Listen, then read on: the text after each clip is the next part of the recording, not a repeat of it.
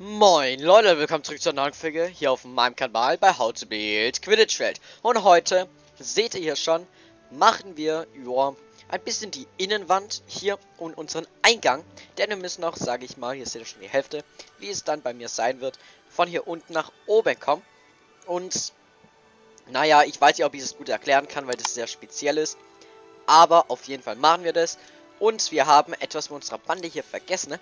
Und das tun wir eventuell in der nächsten Folge, eventuell vielleicht auch heute. Mal sehen, wie lang das wird, dass wir es einfach hier reinmachen. Genau.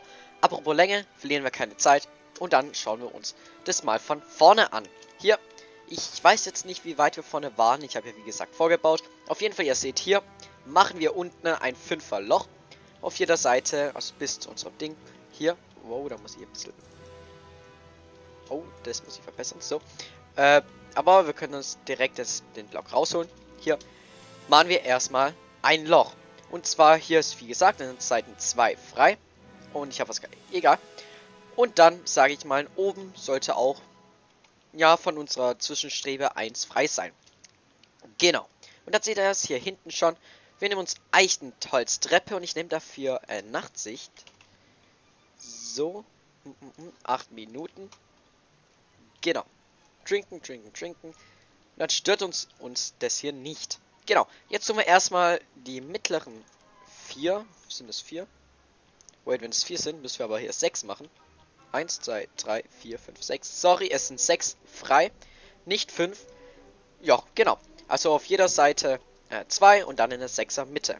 Dann lassen wir hier eins frei und machen, äh, sag ich mal, drei Treppen. So, vier mal drei, sage ich mal, so nach hinten.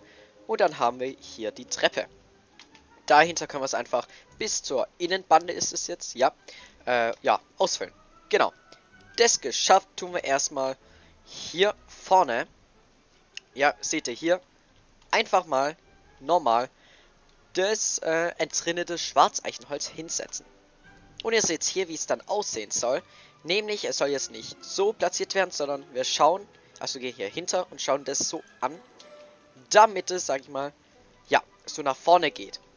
Hier, wie gesagt, das fand ich ja nicht ganz cool und lustig, darum mache ich das. Und das tun wir erstmal, wow, hier, das nächste kommt da drauf, so weit hoch, dass wir auf der Höhe der Treppen hier sind. So, und ihr seht schon, wir können uns noch, sag ich mal, Steinknöpfe nehmen und sie vorne dran. Genau. Jetzt nehmen wir erstmal unsere Treppe wieder in die Hand und tun jetzt, sag ich mal, hier dran nochmal eins, zwei, drei Blöcken auf jede Seite jetzt. Ich habe hier schon gebaut, aber auf jede Seite drei Blöcke. Und tun sie, sage ich mal, hinter unserer dritten ja, Treppe. Eins, zwei, drei verlängern. Und die tun wir auch zur Seite. Also jetzt wieder zur Außenmauer vollziehen. Genau. So, das sieht so aus. Und das wollen wir ja auch haben. Genau. Dann würde ich sagen, wir machen erstmal die Treppen weiter. Eins, zwei, genau. Uh, uh, uh. Kann es sein? Ja, das kann sein. Jetzt nochmal hier von vorne. Jetzt schauen wir mal von vorne drauf. Lasst euch, äh, euch hier nicht irritieren, das machen wir später. Genau. Und zwar, hier haben wir ja auf einer Seite ist ja ein bisschen länger, auf einer Seite ein bisschen weniger länger. Jetzt schaue ich mal, gibt es hier das Problem? Ich weiß gar nicht, ich habe hier irgendwas gemacht. Ich glaube, ich habe hier das um 1 verlängert. Genau, damit es hier halt 6 sind, damit ich halt auf jeder Seite 1, 2, 3, 4, 5, 6, 7 auf dieser Seite, auf der anderen Seite 1, 2, 3, 4, 5, 6, auch 7. Hm, also auf jeder Seite ist 7 frei und dann hier in der Mitte 6. Und das tun wir erstmal die Planke nach hinten und ziehen sie, sage ich mal, hier das Loch. Na, habe ich auch noch nicht erklärt. Okay, das machen wir dann jetzt. Und zwar, wir ziehen es erstmal. Hier dann machen wir das so. Genau. So sieht es ja bei euch aus, hier auf der Seite. Und da tun wir erstmal hier die 3 oder die 6 hier erstmal unten wegschlagen, wo unser ähm, Eichenholzstufe drauf trifft. Und die tun wir, sage ich mal, noch drei weitere Blöcke hoch. Und da gehen wir eins zur Seite und tun oben 4 wegschlagen und dann mit Eichenholz Treppe, äh, Stufe, sorry, wieder hinmachen. Dann bleiben wir auch bei der Stufe, tun sie unten wieder hin. Und die tun wir dann ganz bis zur Außenbarriere da ziehen. Genau. Und jetzt geht es auch weiter mit unserem eigentlichen, und zwar unserer Holztreppe. Da gehen wir wieder hier hin und gehen jetzt von oben, sage ich mal, hier einfach dran. So ein Zweier. So, auf jeder Seite. Und dann sehen wir hier, haben wir so ein einmal Zweier frei. Und dessen machen wir uns auch zunutze. Nehmen uns hier erstmal ein entrindeten Holz, äh, Schwarzeichenholz. Und gehen jetzt hier, so, sag ich mal, so hoch. Hm. Ja, dass ich einen Scheiß erzähle. Äh, ja.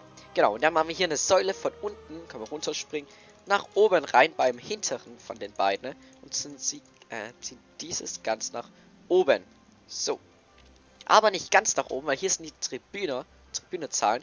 Wir tun zwei Freilassene von unseren Tribünen hier. Und können da ganz einfach Eichenholz, ähm, Brettern, genau, das ganz neue Eichenholz hier reinziehen auf dieser gleichen Höhe. So, ich weiß, es ist ein bisschen sehr chaotisch, aber es ist auch eine Chaot Ja, darum mache ich eigentlich nicht so gerne Innenraum-Tutorials. Denn man kann sie auch gestalten, wie man möchte. Genau, jetzt haben wir das gezogen. Jetzt, was mache ich am besten? Mm -mm -mm. Nehmen wir hier ein rindetes Holz. Ihr seht es hier, wie das sein soll. Und zwar beginnen sie auf der Höhe. Wir haben hier einen Slab von dem Slab und tun es erstmal, sage ich mal, ja, sofort sehen. So wie hier halt. Und dann brauchen wir einen neuen Block und zwar die Fichtenholzstufe. Und jetzt soll hier so ein kleiner Regal sein, da wo äh, bisschen Trophäen und so rumstehen. Und die tun wir dann dahin. Hier seht ihr ein paar Pokal, das soll ein Pokal sein, also nicht wundern. und eine Glocke, äh, die kann man auf der anderen Seite auch hinmachen, aber das zum Schluss. Und jetzt gehen wir wieder nach unten und schauen uns, was hier fehlt. Und zwar, wir sehen hier, das hier muss vorgeführt werden. Ist nicht so schwierig, einfach noch einen Block hinsetzen. Und den äh, Steinknopf muss weitergeführt werden. Dann sieht es bei euch so aus. Okay, wir gehen jetzt hier, sagen wir mal, nach unten. Oder hier zu den Treppen. Und jetzt gibt es hier eine Seite, die noch offen ist, die geschlossen werden muss. Davor aber gehen wir hier oben auf der Höhe von unserer letzten Treppe hier. Ganz am Rand und machen hier erstmal ein entzogenes, entzogenes, entzogenes, entrinnetes Schwarzeichenholz. Ich kann es mir wirklich nicht merken. Alles darüber können wir erstmal ausfüllen. So, Genau. Und dann seht ihr hier. Genau. Tun erstmal hier oben bei der Höhe der Treppe erstmal ganz normale, ähm, Mann, ey, Blöcke, genau, Bretter, Blöcke hin. So. Dann tun wir erstmal darunter überall eine ganz normale Stufe hin. So. Haben wir auch. Dann können wir hier bei den letzten zwei, sind es zwei, ja, bei den letzten zwei tun wir nochmal eine Stufe hin und die zum Block verwandeln. Und das letzte können wir so ganz nach unten ziehen. Äh, äh, äh, ganz unten müsste eigentlich gar nicht.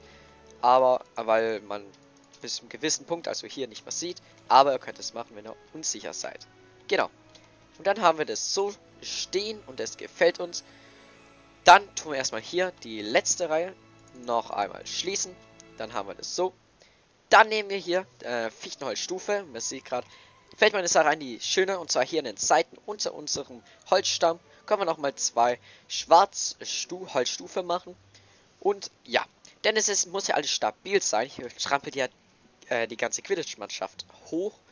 Und ja, jetzt machen wir erstmal hier die eine Lücke. Was machen wir da? Wir machen hier einen ganz normalen Holzstufenbretter-Block äh, und ziehen das erstmal rüber. Auf der anderen Seite natürlich genauso. Und ihr seht, wir machen hier wieder eine Querstufe rein. Also Blockstufe und dann schlagen wir 1 frei. Und machen da einfach 1, 2, dreimal so einen Balken hin, damit es alles schön stabil ist. So, ah, jetzt muss ich nochmal trinken.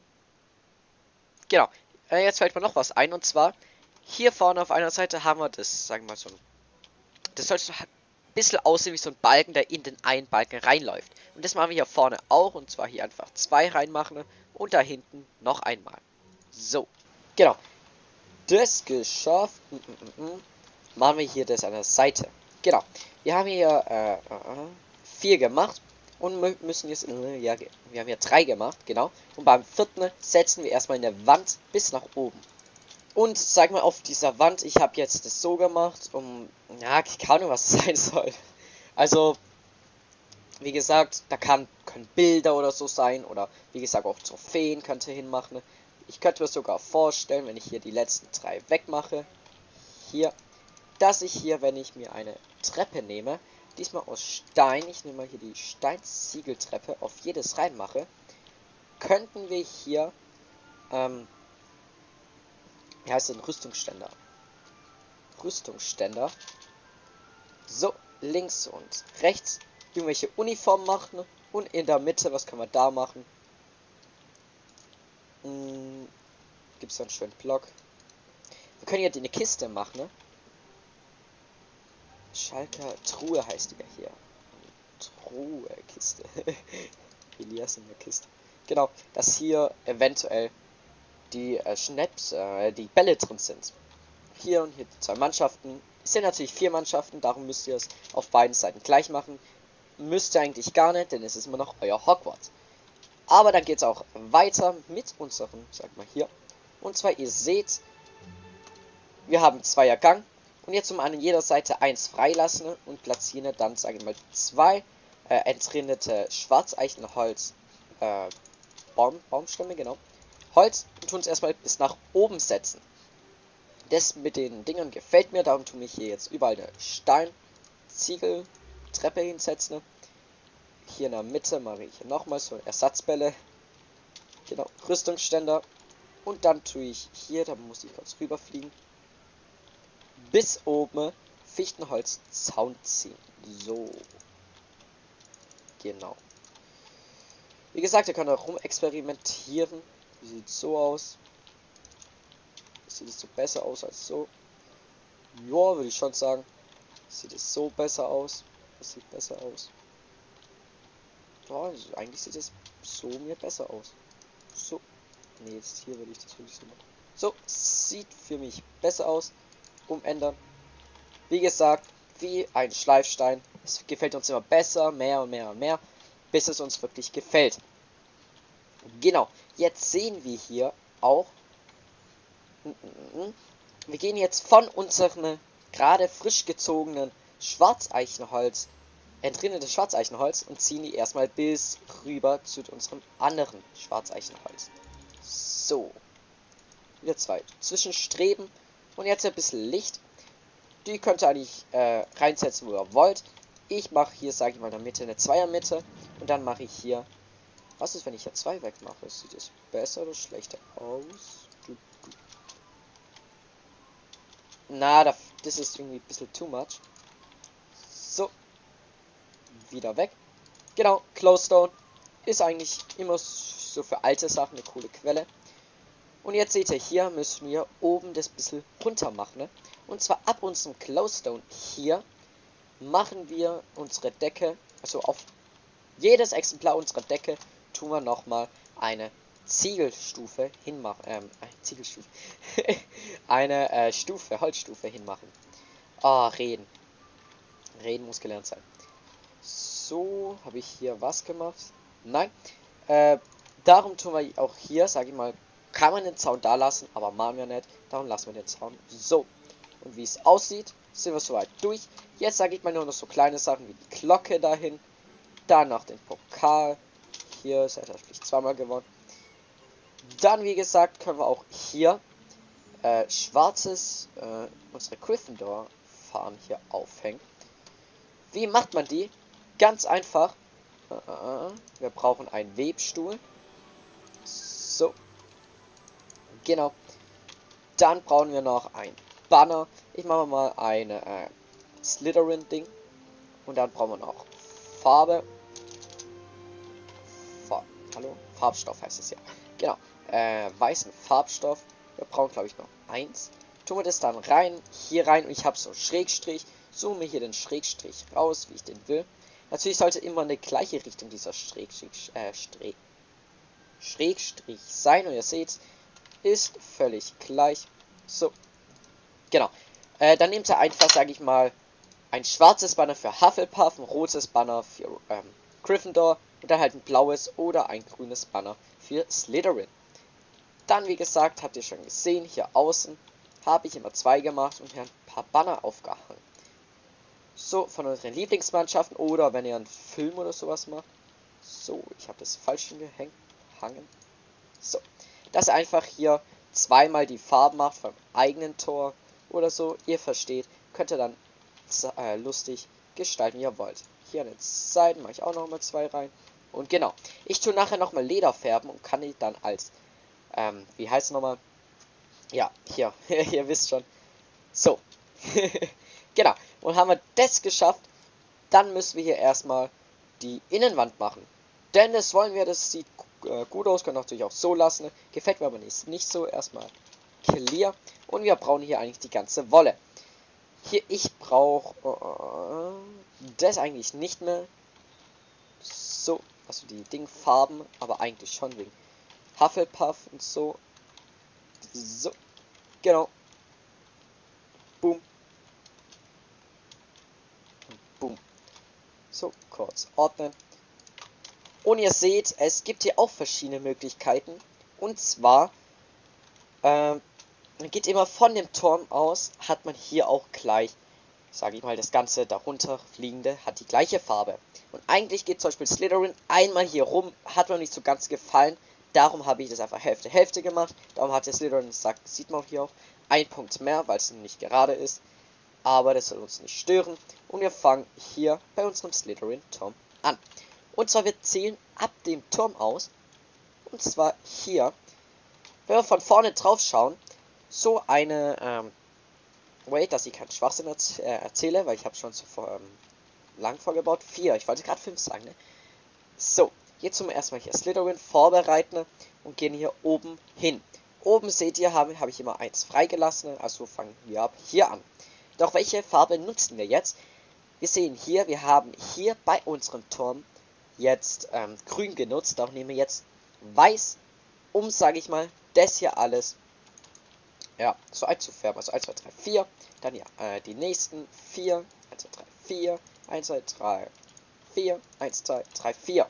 So, hm, jetzt ist blöd, weil ich hier, sage ich mal, auch weiß habe.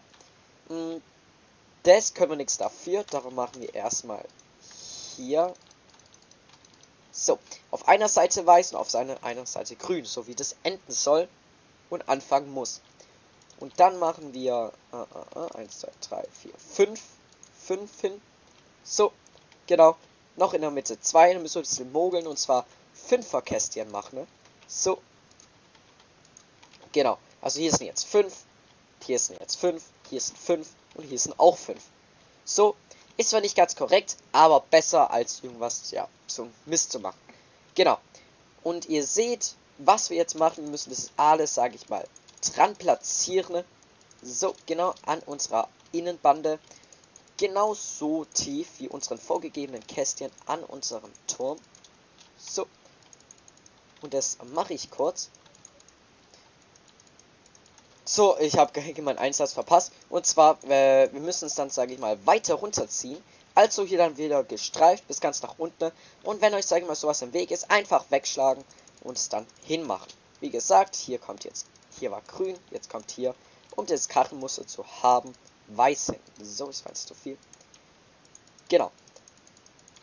Mm, mm, mm,